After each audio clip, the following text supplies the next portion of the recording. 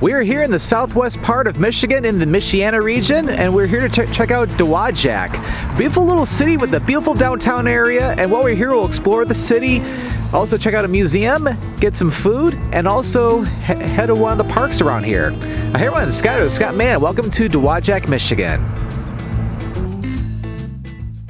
Dowagiac has come a long way since it's been originally found as a frontier town back in 1848 has a lot of great small businesses, some great restaurants, and some beautiful parks well, over here too. And of course, and keep in mind, look at the, the, the name of the city. It's pronounced Dowagiac. How do I know that?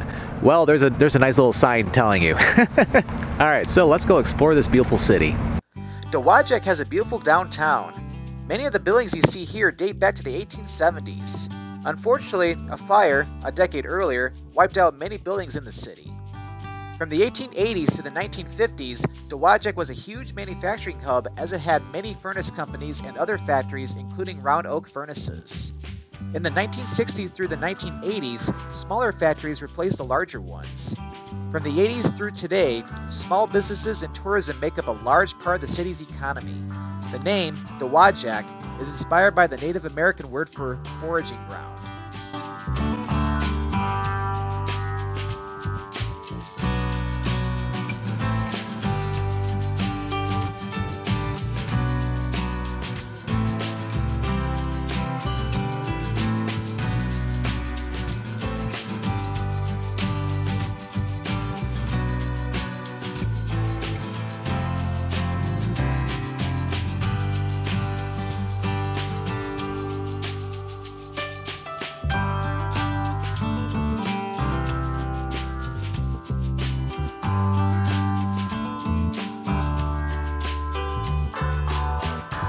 And over here, this is the Beckwith Theater, which started in 1990 and is located inside a building dating back to 1925. And inside this theater, they put on a lot of great performing arts performances with comedies, dr dramas, musicals, etc.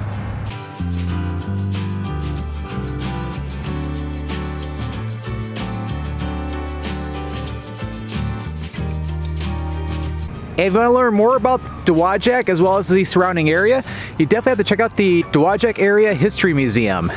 It is absolutely free to enter. You got a lot of cool exhibits and you can learn more about the great history about this area. I highly recommend checking it out for yourself. The museum has many cool exhibits showing the great history of Dowagiac. You can see the many furnaces built on display here. The museum also explores the city's Native American heritage.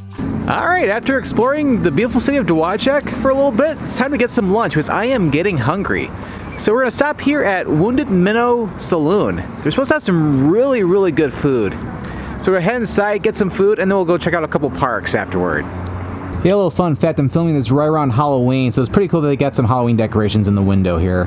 Alright, so here inside, it's a really cool interior. I also like all the Halloween Halloween decorations that are up right now too. but, so I got some great food here, and got some beer bear fish with fries, and of course the Scott Mann Classic or coleslaw. this looks quite tasty. Alright, let's dig in. Mm-mm. Fries are pretty good, nice and warm. And of course this coleslaw.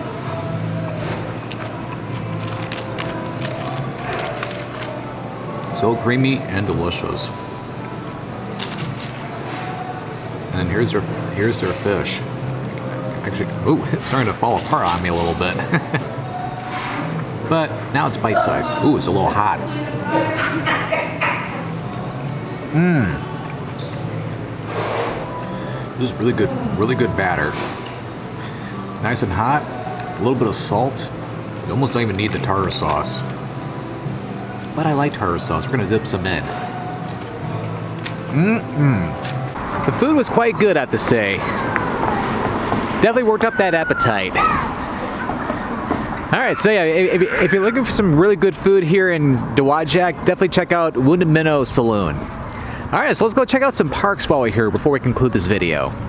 Dowagiac has a lot of cool parks throughout the area. There's even some small parks too within the city itself, but get some really nice ones when you go to the eastern edge of the city. We're over here at James Heddon Park, and this park, although very small, it's very scenic. You get cool views of the Dowagiac Creek and of course Mill Pond over that way. This is a really good fishing spot, and there's even a couple picnic tables over here too, where you can have a nice picnic on a day like on a day, beautiful day like today.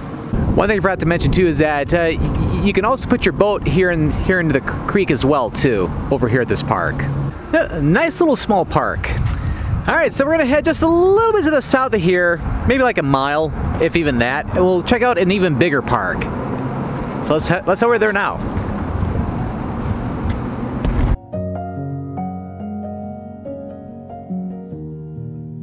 And here we are at our last stop for this video. This is uh, Rudolphi Wildlife Refuge. It's a 325 acre park which has a lot of cool hiking trails and in the wintertime you can do cross country skiing here too. So let's go into the Rudolphi Woods.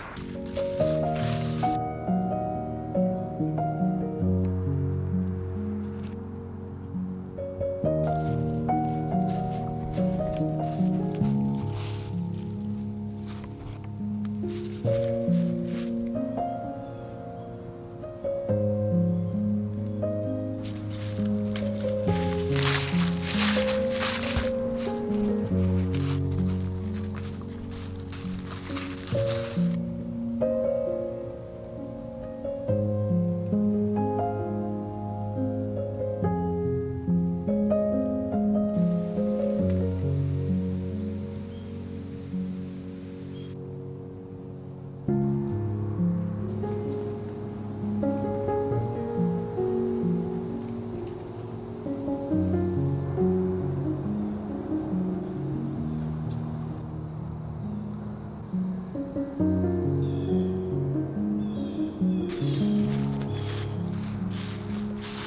You just gotta love the Rudolphi Woods. A very beautiful park. Highly recommend checking it out when you're visiting Dowagiac.